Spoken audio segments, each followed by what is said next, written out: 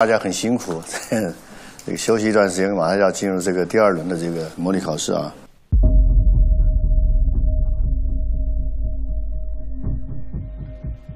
可能大家你们进门就看到这样一个现场了，啊，地上躺着一个人体模型。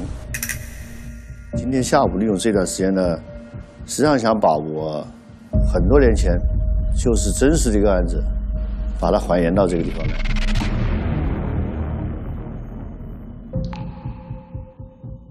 那么我呢，就前面呢，先给大家介绍一下这个案情的这个情况。它是有一年的一月份，那个群众当天中午十一点半，就说在路边发现一个男子躺在路边，旁边这个照片就是他原来的真实的环境。这是第一现场吗？对，这个地方呢有很多资料，包括化验的资料，你们可以去查，可以做记录。这是真刀真枪的，这是个真实案件，就不再像之前那一轮都是道具啊什么的。这其实考验就是一个法医的一个基本功了。对，而且很综合的能力。希望你们利用给你们提供的场景，你们去做一个全面的观察。你们观察的时间有三十分钟。周老师，观察三十分钟算长吗？不算长，不算长，不算长。哎，你们如果觉得你们一个人观察不过来，也可以两两配合，协助一下。三十分钟以后呢，我们肯定要你们回答的是两个方面的问题。第一个，因为这是一个野外的一个遗体，他的生源不知道，所以我们要在里面找到这个人的生源的或者身份的信息。第二个问题是，你们从法医的角度发现了什么问题？这次回答方式呢，就轮着来，一直回答到没话说了，就看谁信息有效性最多。所以这里面既有合作的，还有精彩。你发现的信息可能不能告诉他，如果你愿意，也可以。你们现在就可以组合一下，因为我觉得这个是可以两两两两的组合一下，因为这个可以选，可以选。你们你们是两个一起吧？对对。好吧，这两个一起了。我们那你们俩一起，好不好？这样我就喜欢两个组到一起了，他俩好默契，互相看了一眼就组合了。对对对对对。好，来了。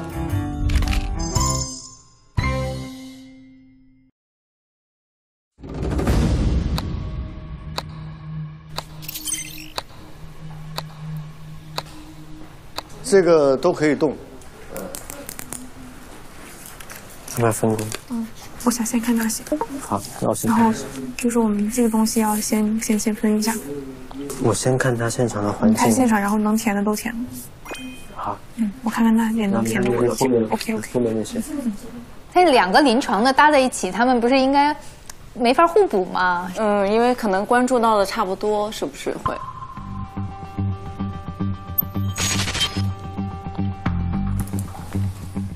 这个差吧？还好，这个我还好。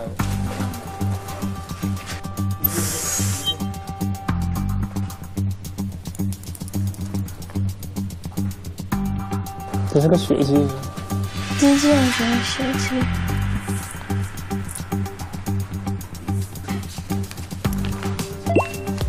其实有的时候，这个鞋底上面这个鞋子的印痕呢，可以跟现场也可以找一找，看死亡现场有没有他的这个脚印，甚至它这上面有一些脚底的沟痕，里面有一些泥土的痕迹、植物的种子、呃微生物的情况，都可以判断这个人是从哪儿来的。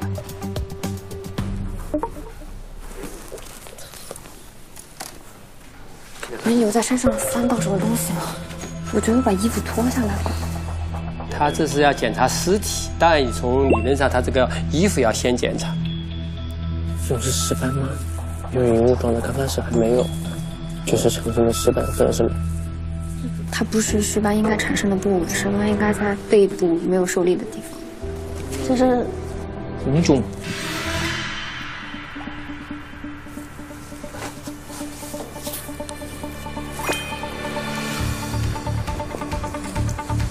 这个会不会是阑尾炎？嗯，应该是手术疤。腹部有钝性损伤。咱们把衣服脱掉吧，这样看后面也好看一点。我来，我来，我来。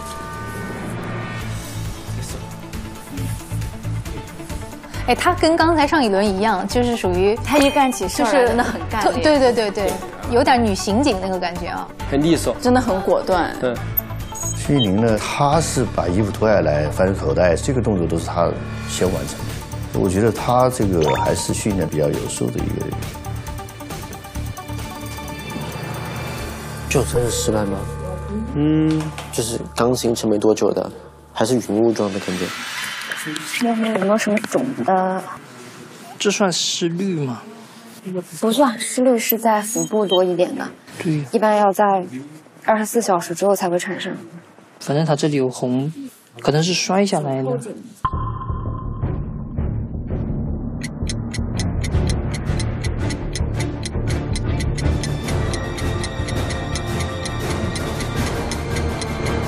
还有十分钟啊！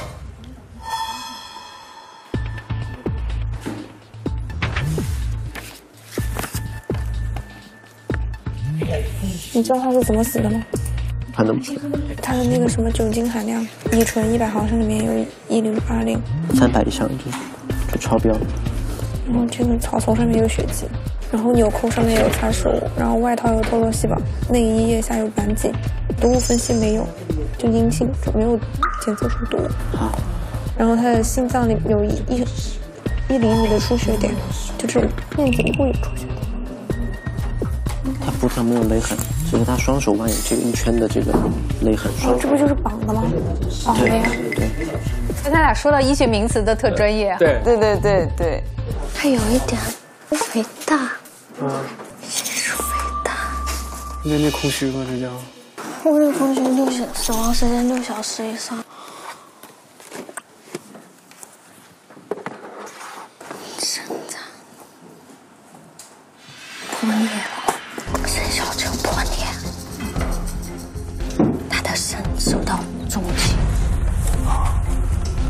向琴医学术语非常专业，在领导徐志同的感觉。对，琴琴有一种还挺大的气场，她其实是内心挺坚定、挺有有勇气的这么一个，并不弱哈，感觉。她她并不弱。徐子彤和这个向晴晴他们两个人配合得很好。徐子彤呢，他就在查，向晴晴在做记录。但是你看看做这个尸体的时候，刘超宇他一个拿着尺，然后这个尸体量尺的话，他又不够这个手长，所以他这段压着让上去量，这个实际上是犯大忌的事情，因为你量也量不准，而且费事儿。所以我觉得他们实际上在小的配合上面是出了问题的。法医本来就不是一个单打独挑的事情。还有五分钟，啊，那些你看完了吗？我去把衣服看，你说让我看哪个？就那些啊。我去看那个。对啊。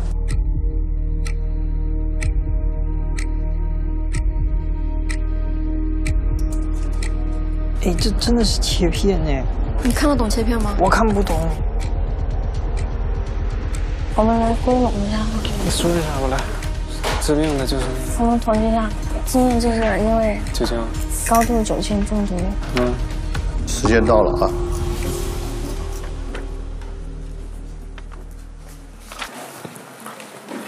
好，前面的观察三十分钟了，也时间到了。第一个大的问题，你们在他的这个身份信息上面，你们都提取到哪些信息？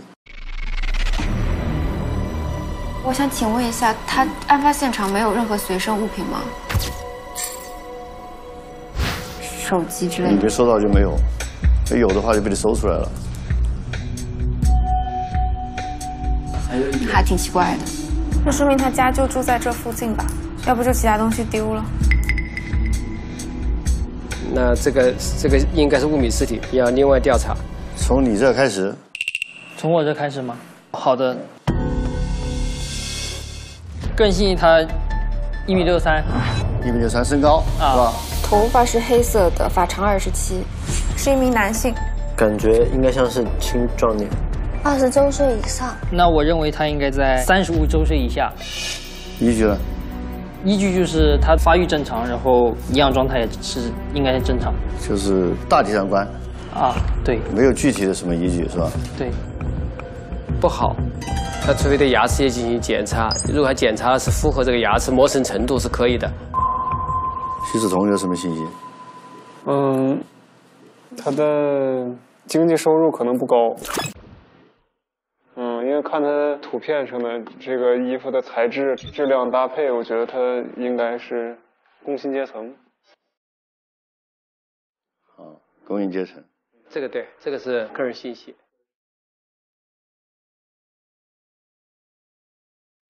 还有吗？呃，他的腹部有一个手术的疤痕，这说明什么？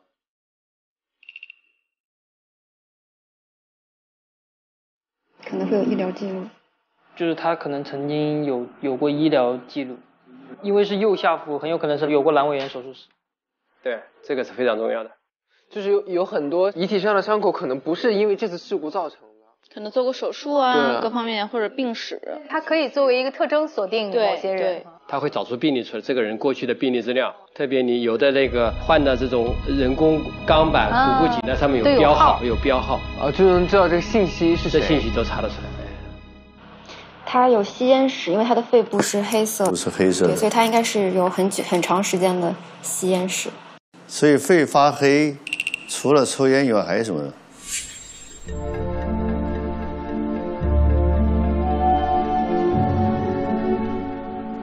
撞击、出血、非淤血。工他的工作环境，什么工作环境呢？吸入那个粉尘，粉尘比较多。粉尘也是一种。嗯。碳。所以它不一定能代表它就是一个硅肺。呃。还有吗？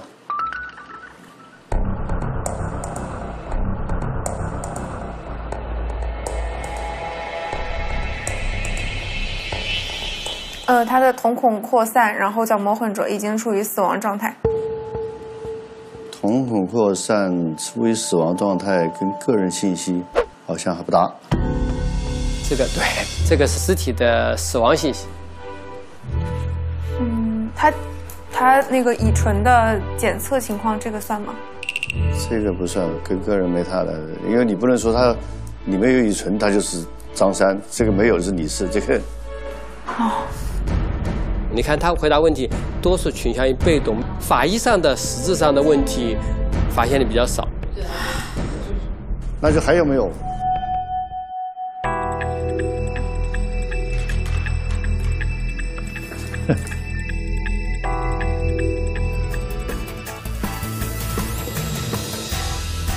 呃，他的上衣穿的是灰色棉衣，然后下衣穿的是牛仔裤，然后有一件黑色外套，鞋子穿的是灰色的。就衣着。对衣着。哦。其实，在专业能力上，我觉得曲以林还是要更有信心一点。对，挺优秀的，这个背景上很优秀的。还能补充吗？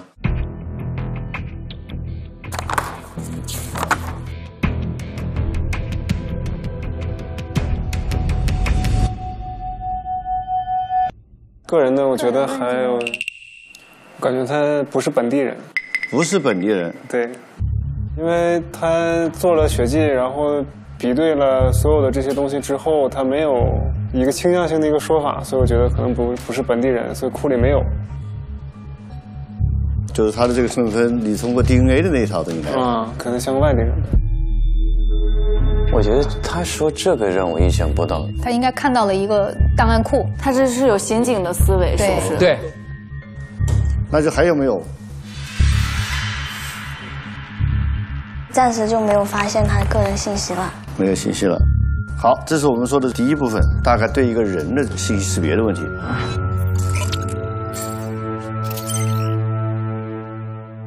所以我们要看第二个信息了。那么这个人到底怎么死的？那么你就要看到相关的跟死因有关的信息。那还是你来？哦哦，我先来是吧？哦，耳部有出血，然后现场路边的杂草上有血痕。他的口唇部也有淤血。我看到他的口唇是，我觉得是发干的，然后口腔黏膜里边有破损。哦好，这个肯定是有捂压口鼻或者是口部损伤，所以如果这结合起来，这个人有一点窒息的征象。呃。口口唇紧闭，舌头位于口内，这个算吗？就是排除他是被呃勒死，或者说是那种。暂时我们我们要找阳性的。那就换一个。嗯，下腹部嗯有两个淤青，然后脐下偏左是十厘米，脐下偏右是两厘米，啊，然后右上腹还有一个两厘米的淤青。淤斑淤青，就 这俩还挺可爱的，并两个跨专业。它的丝斑呈雾面状紫红色，分布在后背和下肢后部，说明它是那个俯卧状。死亡的仰哦，仰卧，仰卧，仰卧，仰卧。仰卧。梓潼还在旁边提醒他，挺好的，大哥哥啊。倾轧没有回弹，有六小时以上，因为胃内呈空虚状态。啊，这个是死亡时间，他推断死亡时间。专业方面，像晴晴真的就像一个隐藏的大佬，酒精浓度那么高，但其实他的胃是空的。如果一个人在饭桌上跟别人酗酒吃饭的话，那怎么可能胃是空的？所以我觉得他们那一组还想的挺深刻的，挺系统的。哎，琴琴其实没有学过哈，她考法医不是还没考上吗？她这些都是自学的。对，自学的，全自学的。因为在殡仪馆的法医多数在那里做解剖，他在旁边观摩，是照相记录，对，会看一看。那我们看到那个尸检的里面东西有没有什么发现？就是胸前这一片，因为它开了以后，会，比较特别红，而且有出血。对，就是那个甲状软骨的其下方这个位置。因为它是这样，它是这样开对，它也是属于颈部。很有默契的，不像刚认识的。对，是的，对，嗯，呃，它的足部有一个口香糖，足部有个口香糖，呃，鞋底脚鞋底鞋底有个口香糖，呃，而且那口香糖还没有发黑。那是侦查上面的事情了，鸡跟死因可能有关，跟这个尸检重建可能也有关系。它口香糖可以作为物证，它里面有口腔细胞，可以看这个口香糖是谁吃的，是死者吃的，还是案发的第一现场犯罪嫌疑人吃的。它是一个饮酒状态，并且酒精浓度比较高，一百毫升里边还有一零八零毫克，这个酒精浓度很高。这属于醉酒，醉酒是八十毫克每分升，这个很高。哇哇，就相当于器官泡在酒里，就很多很多了。它可以喷火，基本上就是。是因为你想冬天他就穿了一件单衣，肯定是喝喝高兴，把自己喝喝害了。我发现他的手腕有宽两厘米的勒痕，然后拇指和食指之间也有勒痕，锁骨下面有三乘二十二厘米的勒痕，就是说明他之前有被绑过，而且是浑身都被绑过。绳子绑的。对，绑这里，然后还有双手，然后这个虎口的地方应该也都绑了。前后绑，那后面呢？他后背好像是没有勒痕。那又不是环形的。这里是其他人弄的吗？它有个红颜色的。这两个临床医学的可能对这个东西有点傻眼了，因为他们完全没学过法医学。我想问一下，这种是这种是尸斑吗？嗯，我懂了，刚开始还没有。这个它不是尸斑应该产生的部位，尸斑应该在背部没有受力的地方。尸斑主要还要看部位，一般这个凸起的部位有红的，隆起的部位这个地方就不是尸斑，所以我们说尸斑出现在人体低下的未受牙的部位。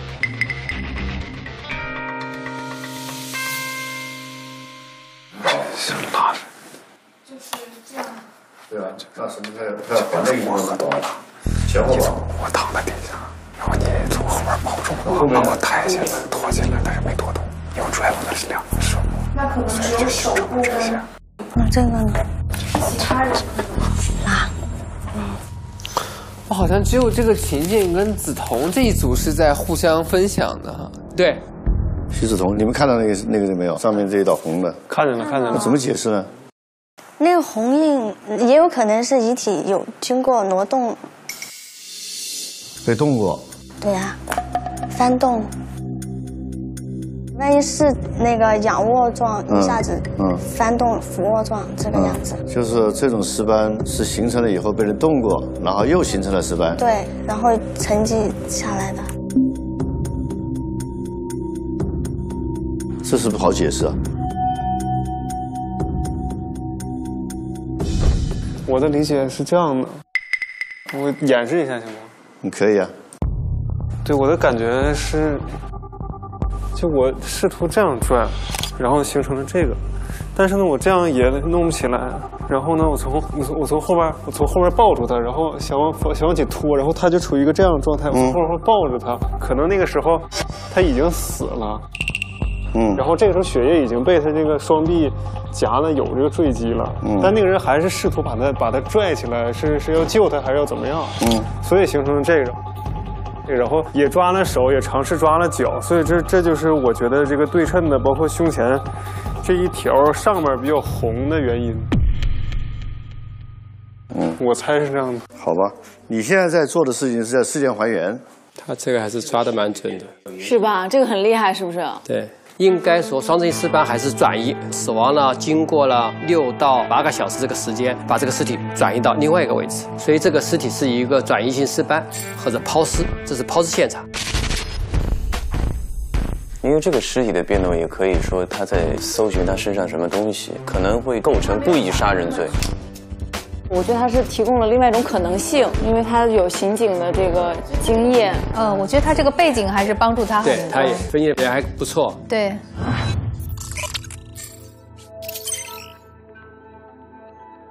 那么我们下午的这个应该是很漫长的一个面试，啊，就说是法医实际上是很考人的，因为其实这里面有很多干扰项，可能是这个给你们来个下马威，有很多点，大部分是观察到了，所以我就想把我们现在观察到的东西跟你们说一下，你们看看你们遗落了什么东西啊？比如说死者身上是没有任何财物和身份的证明。所以呢，在他身上呢，就是他的衣着要进行观察，好像那个毛衣上是有标牌的，有品牌的。这个人实际上是正面和背面都有尸斑，这是一个双侧的一个尸斑。左耳垂这个地方有一个不规则的皮肤的缺损，创业不整齐，老鼠啊这些东西它咬出这种痕迹来。那为什么会出血呢？因为人在急性死亡的时候，他的血液是不凝固的，依然还可以出血。尸体内部呢？右心房的后壁有一个小出血斑，胃里面有少量的血性液体，胃壁的黏膜是有弥散性的出血点，腋下的这个 DNA 实际上是一个多人的痕迹。它问题在于甲状腺的甲状软骨两侧的肌肉有出血，是对称性的。左侧的枕部头皮下头皮下出血，这是说我们看到的这些表现。所以目前死亡的这个问题就在于。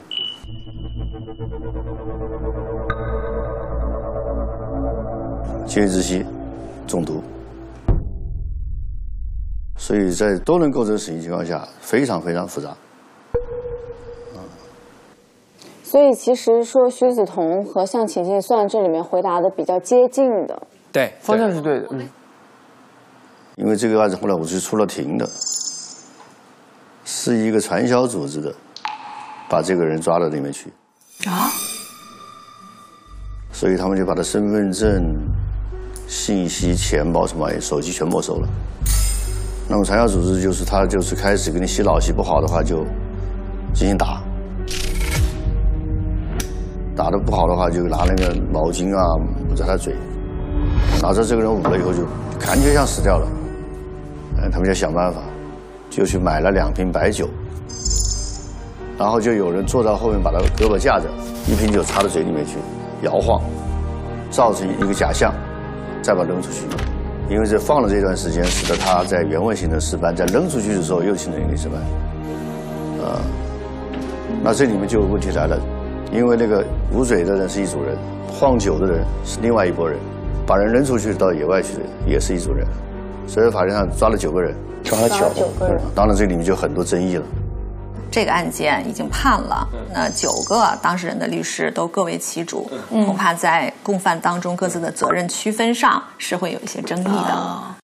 九个人，九个家庭，连死者四个家庭。是，所以你看，其实如果没有法医的话，我们很容易就觉得是饮酒或者是意外。其实这个还是我们也对普法、对这个法医，我们有更多的认知。是的。牛头其实前面很学术，后来真正说到那个案件到底是怎么回事的时候，我感觉现场的气氛都好像一凛，就是这种感觉。就是当你说到真的它发生在哪个人身上是什么，带入那个现实故事的时候，感觉大家好像都一紧，它是一个真的发生的一个死者，一个人的命，整个一个人的人生，对很多人的人生在这里牵扯到了很多家庭。啊，今天这个就是要告诉大家，在搜索这个的时候，眼睛要非常的明亮，去看得见，啊。那这个经验很重要，思维方式也很重要。死者不能说话，我们必须去发现，发现了把它翻过来。就像在学校上课一样啊，就是那种大教授坐在我对面讲课的感觉，就很亲切。他能很轻易的用自己很简单的话语，深入浅出的把知识教给大家。我觉得老师很厉害。我觉得其实你们还是很有潜力的，感觉你们将来还是有很大的这个空间往前走。啊，又来到了紧张的时刻。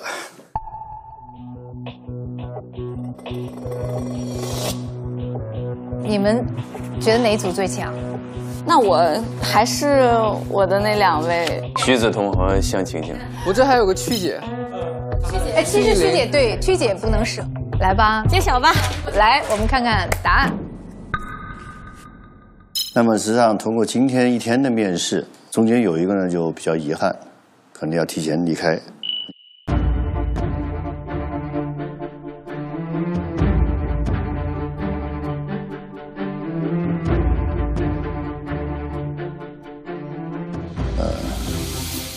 主要原因呢，是因为我们考虑到这个不同的人之间，他的进步的空间，所以呢，非常非常的遗憾的说啊，哎呀，我比他们还紧张。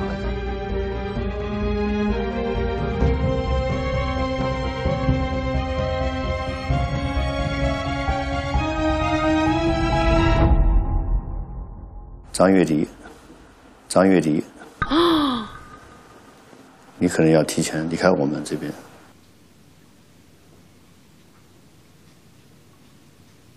还是那个话，你可能还要通过一些努力，好不好？